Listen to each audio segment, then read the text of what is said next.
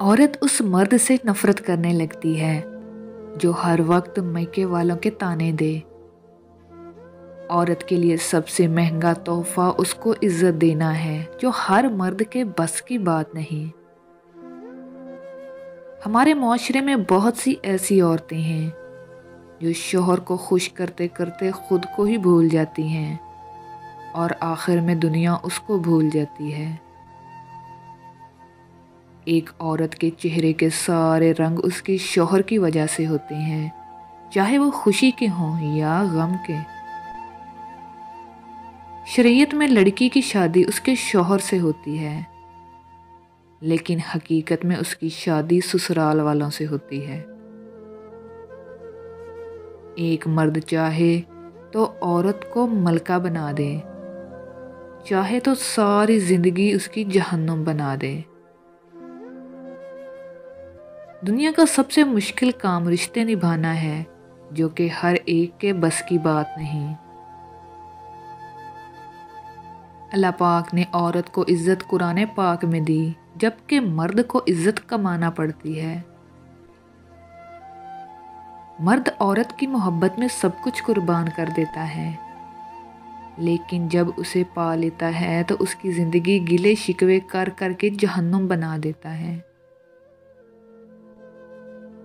कामयाब रिश्ते वही होते हैं जो दिल से जुड़े हों। वरना इन रिश्तों को निभाने के लिए पल पल मरना पड़ता है। औरत उस वक़्त गलती करती है, जब वो फैसले दिल से करना शुरू कर देती है।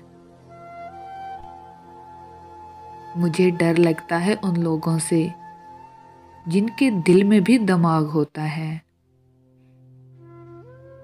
औरत कभी भी कोई राज नहीं रख सकती सिवाय अपनी उम्र के। जो शख्स हक बात कहने से खामोश रहता है, वो गुंगा शैतान है। औरत की इज़्ज़त करना एक इज्जतदार मर्द की निशानी है। वो झोंपड़ी जहाँ औरत मुस्कुराती हो, उस आलीशान महल से बेहतर है जहाँ औरत रोती हो। अल्लाह ने औरत को मर्द की पेशानी से नहीं बनाया कि वो मर्द पे राज करे और ना ही उसके पाँव से बनाया कि वो उसकी ग़ुलामी करे, बल्कि औरत को मर्द की पसली से बनाया ताकि वो मर्द के दिल के करीब रहे।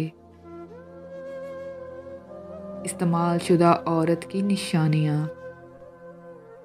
जब वो सजे संवरेगी तो बारीक लिबास पहनेगी जब वह बैठेगी तो अपने जिस्मानी हिस्सों को ज़ाहिर करेगी।